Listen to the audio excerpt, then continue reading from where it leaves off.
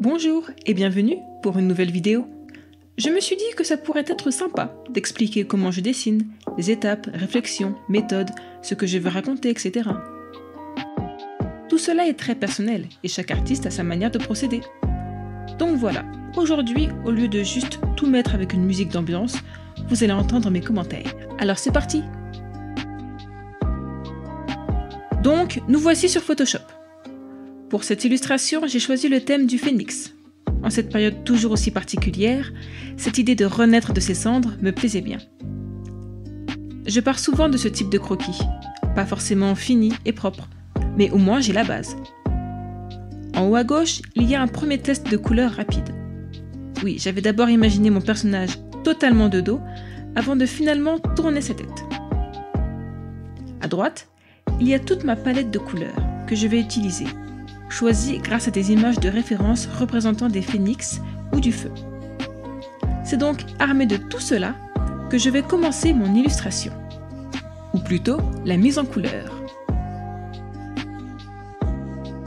Je commence d'abord par travailler mon fond. C'est lui qui va donner l'ambiance générale. Ici, la partie gauche du dessin représente le passé, ce qui est mort, entre guillemets, n'existe plus. La partie droite représente le futur, le nouveau, la naissance, etc. C'est pour cela que j'ai choisi de mettre la lumière à droite. J'ai ajouté un voile déchiré à gauche pour accentuer ce côté mort et symboliser le passage à autre chose. Et puis, avouons-le, cela habille le fond. Les couleurs de mon personnage viendront ensuite s'ajouter en aplat. Cela me servira de base.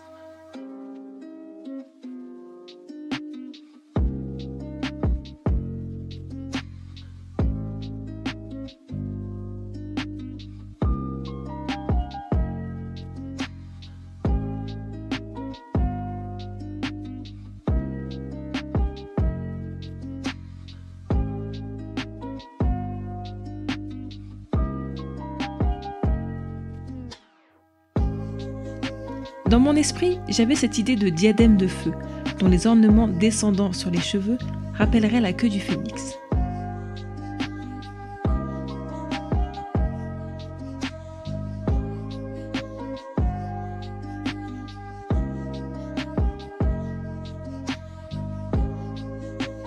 Je travaille ensuite mes aplats en volume, c'est-à-dire en ajoutant les lumières et en travaillant les ombres. C'est la partie en général la plus longue car j'y vais très souvent à tâtons. Je teste les couleurs qui pourraient convenir, je change, je recommence, je mets de références, etc. Pendant que je travaille mes volumes, je garde toujours en tête où se trouve ma source de lumière et de quelle couleur elle est. Ici, mes lumières seront dans les tons chauds, jaune, orange, rouge, les couleurs du feu je fais fondre ces couleurs avec la teinte de la peau de mon personnage. Les transitions entre les différentes couleurs doivent être progressives et non brusques si l'on souhaite obtenir un rendu réaliste. Peindre les volumes, c'est comme faire du modelage. On creuse avec les ombres et on met en relief avec les lumières.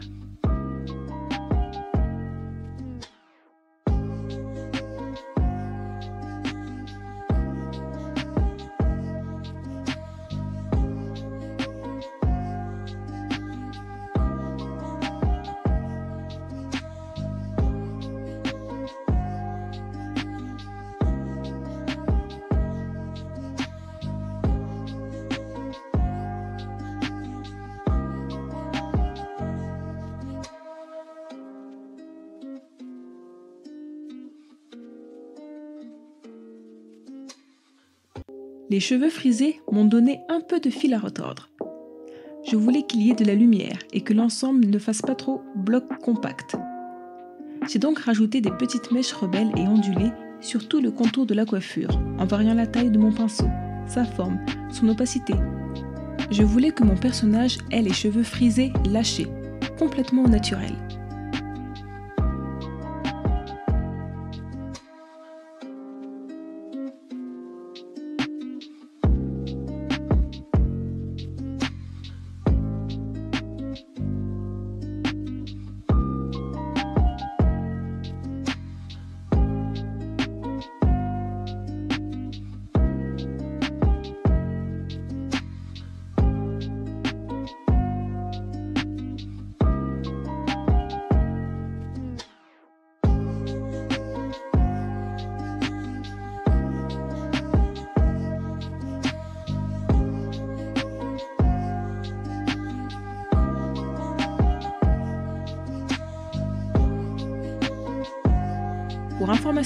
J'avais au préalable dessiné le tatouage en grand, à part, dans un autre document.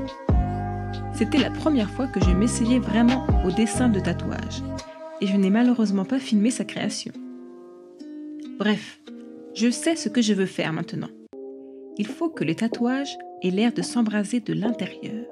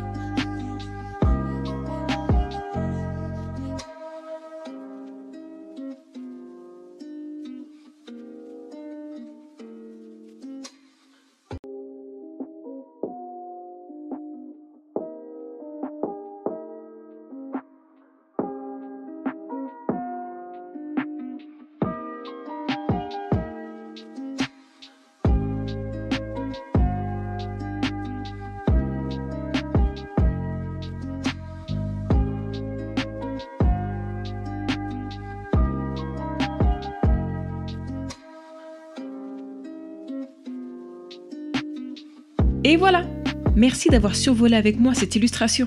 J'espère que ça vous aura plu. Si ce genre de vidéo vous plaît, ou si vous souhaitez que je parle plus en détail de comment j'utilise Photoshop, choisis mes pinceaux, fais mes dégradés ou réalise mes croquis, dites-le moi en commentaire. Je vous dis à dans deux semaines pour une nouvelle vidéo. Et d'ici là, prenez soin de vous. Bye